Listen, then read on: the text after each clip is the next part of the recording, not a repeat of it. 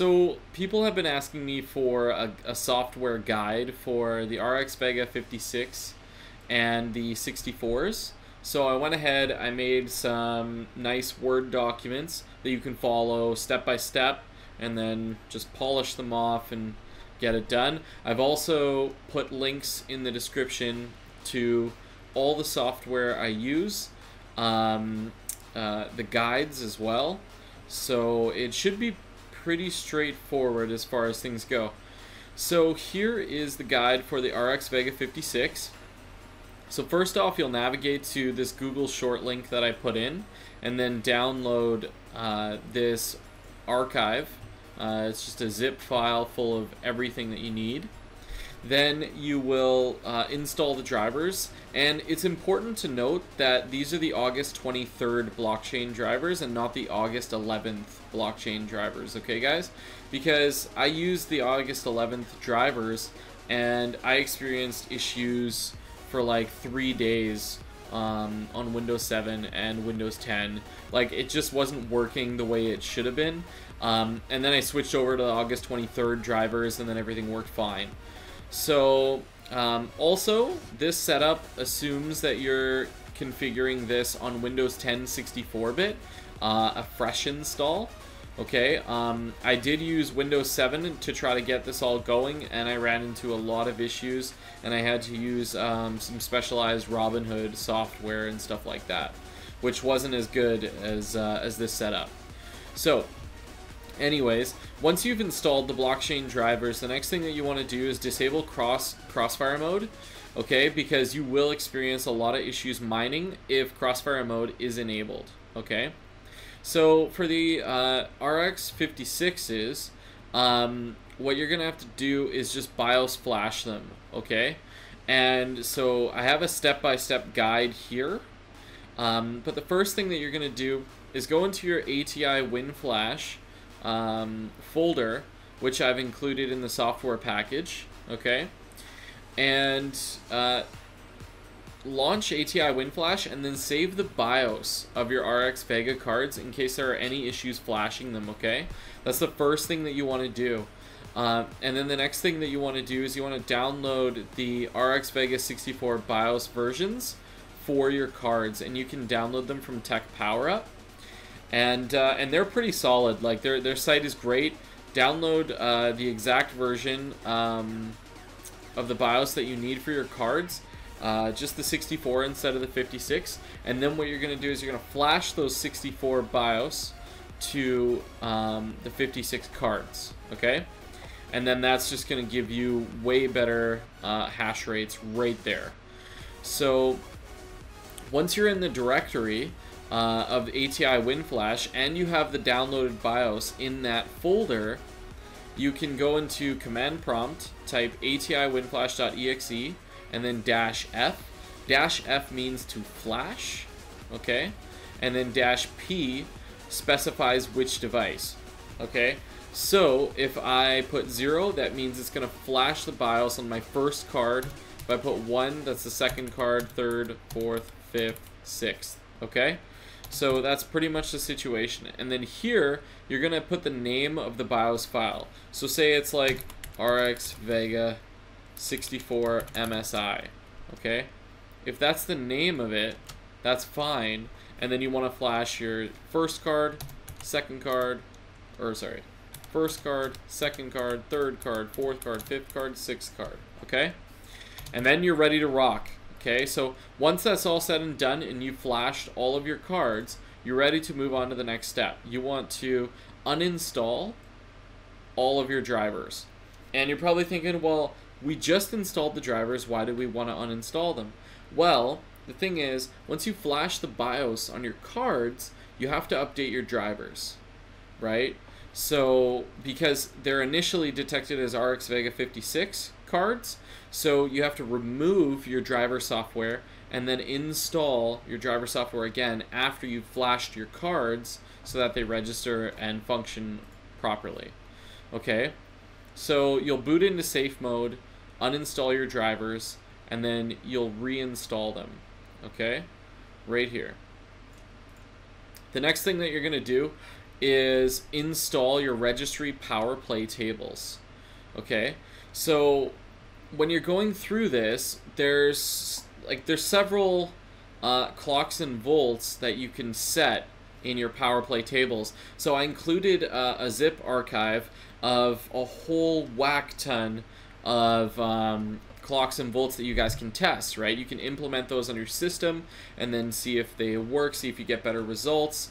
Um, for the Veg for the Vegas 56s, I generally use um, 875 millivolts or 905 uh, millivolts for them because I found that those give me the best performance and the best hash rates um, along with power consumption at about 135 watts uh, or 140 watts per card. Okay, um, so pretty decent.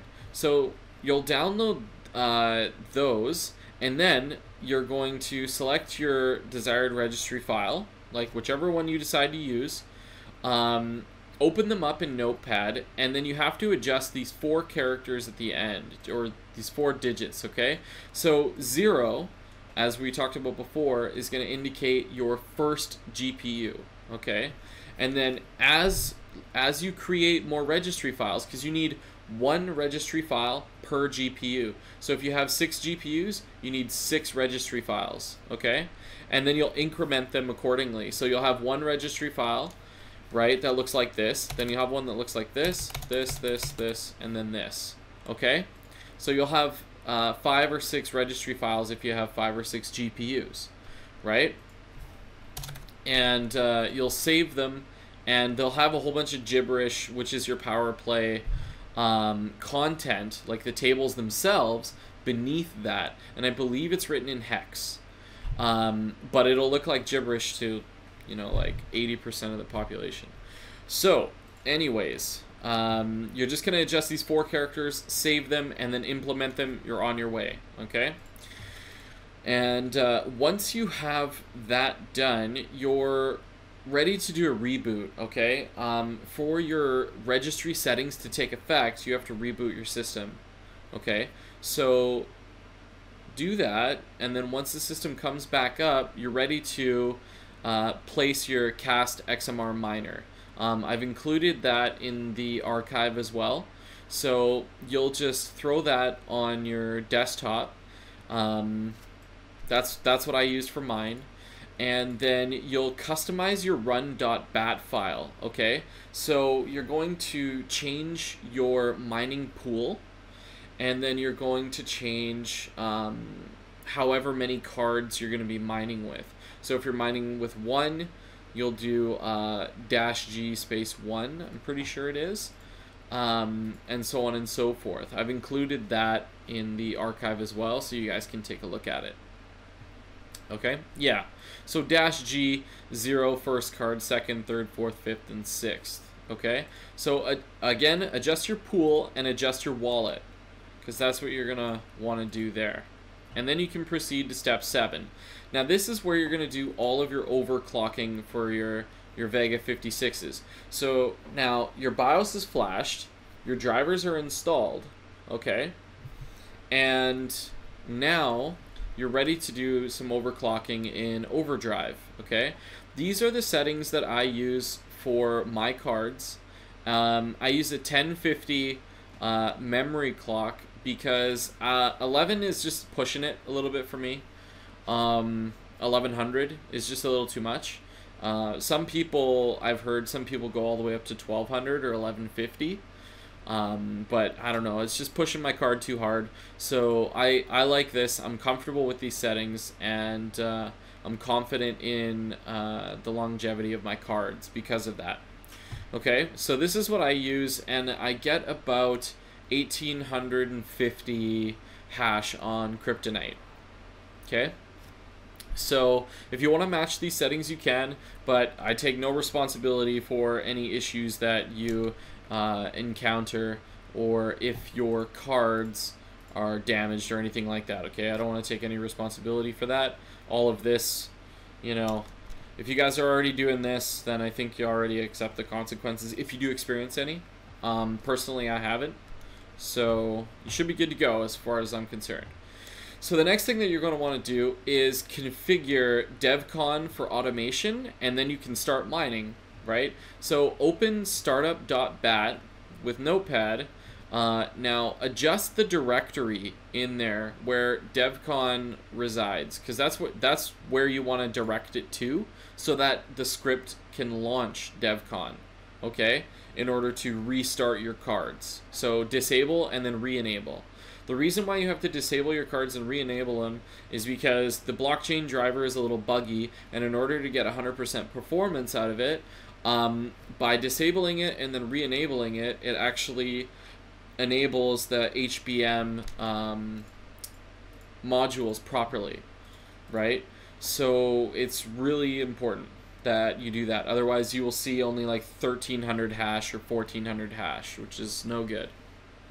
Okay, so go into the startup.bat file and adjust these directories. So the directory for devcon.exe, okay, and then the location of your miner and your miner batch file. Okay, you're gonna adjust that as well.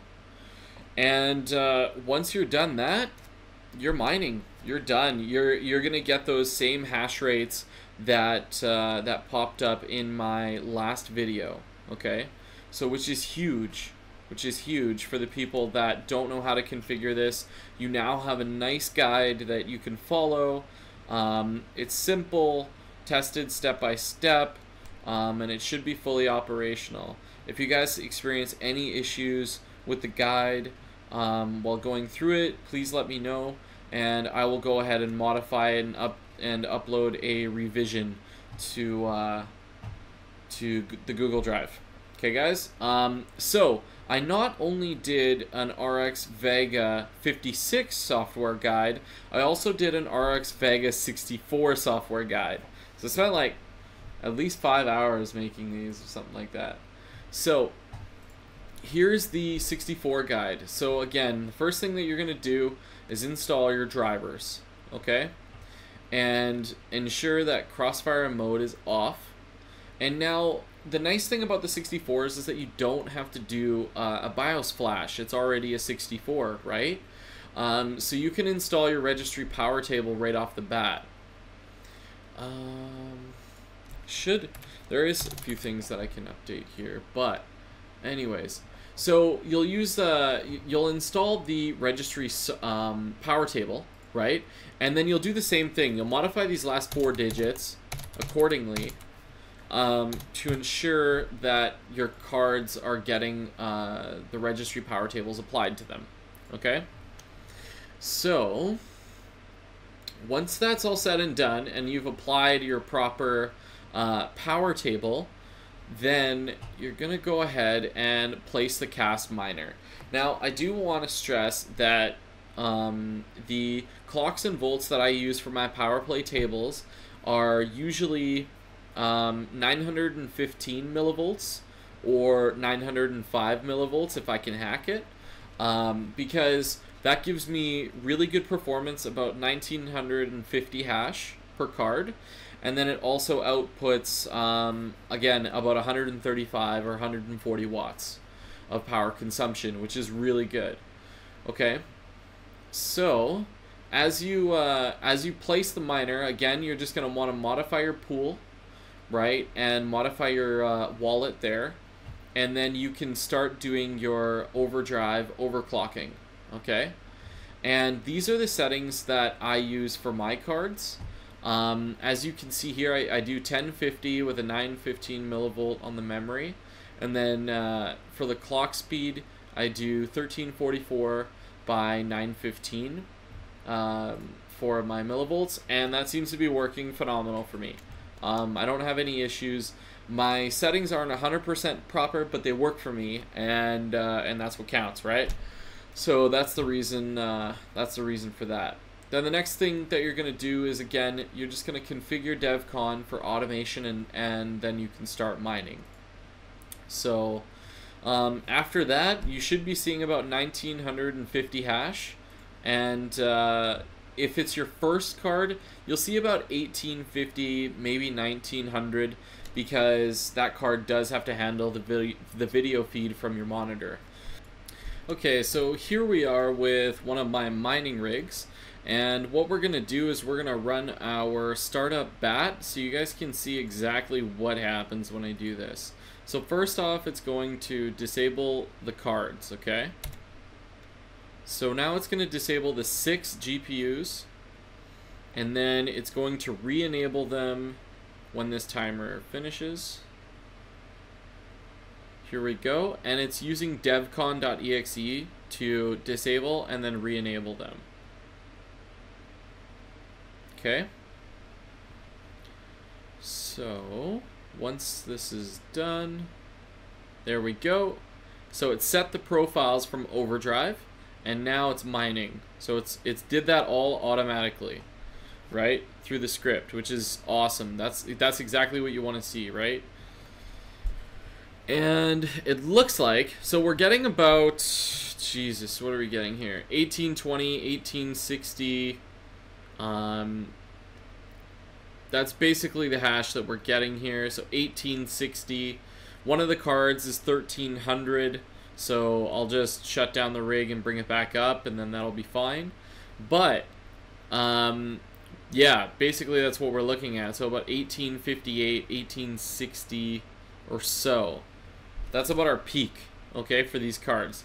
Which is decent. That's pretty good. That's pretty good. At like 135 watts. So, that is pretty much um, how you earn like 50 or 60 bucks a day doing this, okay? And so I do want to shut this down just for now. And uh, I want to bring up calculator quick, okay? Okay, so as I was saying, so we're, we were doing like 10,100 or 10,200 or, or whatever it was, right? So let's do the math on what that earns us, okay? So we're doing hash, so 497.65 ETN a day. Now, I just really want to show you guys how I break this down quickly, okay? So, Okay. Slow as ass. Fucking on TeamViewer. Okay, so bring this up. ETN. Okay, guys. So you can see what ETN's worth right now. It's worth quite a bit. Um, so we're gonna do this. Open up a new. Um. We're going to do USD to CAD. So 0.17 cents in ETN, right? And we're getting roughly 497 ETN a day, which is $84.49 Canadian. So that's the math right there. There's there's no other way about it. It's not like it's not like it's more complicated than this. This is not. Um, in fact, you either earn a little more than what you see here, or a or a little bit less. Um, but the figures don't really deviate that much. So if you have two of these rigs, let's call it a thousand ETN a day, right? You're getting $170 a day, okay? So now if we do the math on that monthly, we do 170 times 30 days, okay? That's $5,100 a month, okay? That That's the math right there. It, numbers don't lie, right? But anyways, I hope that these um, RX Vega guides, the 56 and the 64 guides, can pull you guys uh, a little closer to these figures um, by following them, and hopefully they're easy enough to follow. Um, I, you know, I really try for that. I push for that to uh, to make the documentation, um, you know, sleep work essentially. You just do step by step by step. It's done, and you're on your way. So, uh, let me know if you guys like the guides. Like, should I keep doing the guides? Do you guys prefer the, the Microsoft Word documents? Or are you guys more fans of, like, text document guides and stuff like that? Just regular text documents? Or do you guys prefer videos, like instructional videos? Um, let me know what you guys think because that is what I will push towards in the future. I personally like making the Word documents, I don't mind. Um, but it's nice to know your guys' opinion on that situation as well. So thank you guys for tuning in, and as always, stay regular.